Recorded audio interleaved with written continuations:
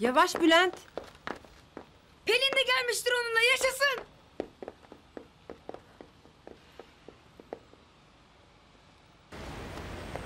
Şükürler olsun. Sen bu kapıdan içeri girene kadar içim içimi yedi çocuk. Çok merak ettim. Merak edecek bir şey yok geldim işte. Hoş geldin. Hadi bakalım. Hani Pelin? Yok gelmedi. Ya çok fenasın. Niye getirmedin? Yürü Bülent seninle uğraşacak halim yok. Babamları mı öğrendin? Ne olmuş ki babamlara? Hani sabahleyin çok bozuktu ya babam. Tartıştıkları belliydi. Ama bu sefer öyle böyle değil. Büyük kavga çıkmış. Bihter evi terk etmiş. Ne diyorsun? Babam da halama gitmiş çiftliğe. Birkaç gün orada kalacakmış. O kadar yani. Babam için çok üzülüyorum. Pelin gelseydi moral olurdu ikimize de. Abla! Abla! Neler olmuş Matmazel?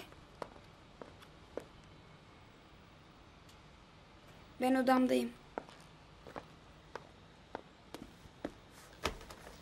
Evet. Ne olmuş? Geç kaldın.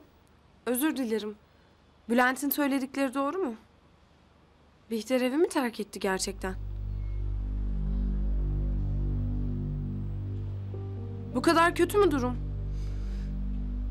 Zannetmiyorum. Babam da halamın yanına gitmiş. Ortada çok ciddi bir şey var demek. Neler olduğunu söyler misiniz? Bilmek istiyorum ben de. İnan ben de bir şey bilmiyorum. Ama olur böyle şeyler. Büyütmeye gerek yok. İkisi de evden gitmiş. Ötesi var mı? Bunlar evliliğin tuzu biberi canım. Hem her ilişkide olur böyle inişler çıkışlar. Hele böyle tutkulu aşklarda oho. Nasıl bu kadar rahat olabiliyorsunuz? Çünkü bu fırtınanın dineceğini biliyorum canım. Özellikle Bihter sürdürmeyecek bunu göreceksin. Eve dönecek. Emin ol dönecek.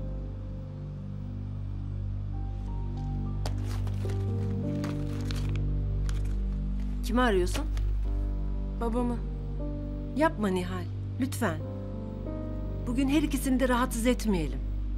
Buna ihtiyaçları olduğu için yoklar evde. Öyle değil mi? Kesinlikle.